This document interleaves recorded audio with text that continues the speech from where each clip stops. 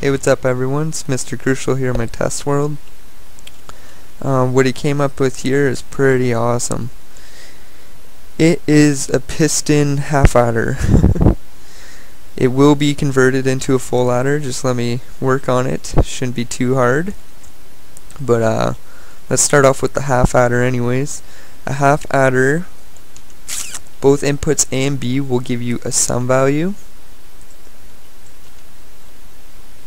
And if inputs A and B are on it will give you a carry. This is um, this is for like building computers and stuff uh, with binary numbers on in Minecraft right? This that's what this thing's for a half adder. I'm sure if you're looking for this video you know what its function is. So it's an XOR gate and an AND gate basically this was like my first attempt to build it. I was implementing the uh, piston XNOR gate, but it required too many inverters. Looked pretty haggard. I found this one on Google or YouTube, and it's pretty nice. There's no piston, and it's pretty compact, but I definitely made it a lot smaller if you compare the two. Yeah and it has the same function. Well I don't even need to show you the old one. It functions completely the same yet sum sum and carry like I said I'll be converting converting this thing into a full adder. Um, you can pretty much see how it's built. If not I might as well build it for you. So the way this is working is I had to invert the lines for the AND gate to work properly. So this is input A, input B.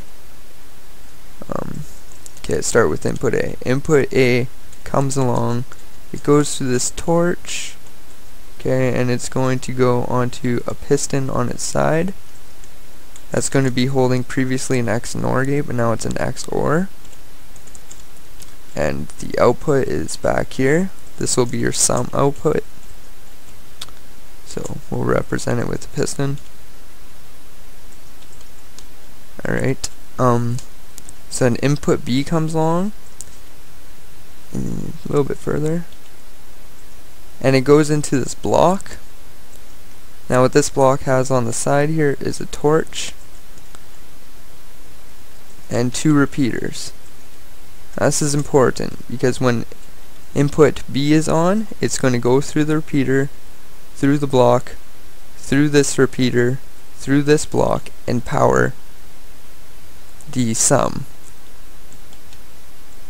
And if it's, that's if it's on, like that, it goes straight through it. Now if it, input A is on, it's going to retract this piston here, and the power from this torch it's going to go through this repeater, through the block, through that. Okay? See there? It retracted the piston from this here. Forgot to mention this part. And the power is going to go through there. Now if both of these are on, it turns off. Okay, that's an X, X NOR, or XOR gate now. So, what we need to do is add, add an AND gate. And what I've done to add my AND gate is I just come off these two torches because they flip-flop, right? If one if one is active, one torch will be off. If this one's active, this torch will be off, and that's a flip-flop. So, what we're doing is we're taking advantage of the flip-flop between the two different circuits, and we basically make an AND gate. How do I do that? Have it inverted. Yeah. Just break off that block and invert it. So basically, if they're both on, yeah, you get the idea. It's an AND gate. Like this, this is where your sum value will come from. You can run out, out one extra, so both levers are on, you have the sum value one lever's off, it switches from sum, or uh, carry to sum, my bad. A little bit hard to explain a half adder, I'm fairly new to it, but uh, I know this can be easily converted into a full adder. So I'm excited to be uh, doing that next. But um, I definitely want SC Joiner to see this because I know he's in the process of building a, a computer.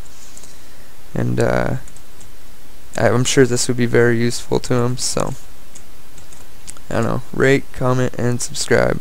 Peace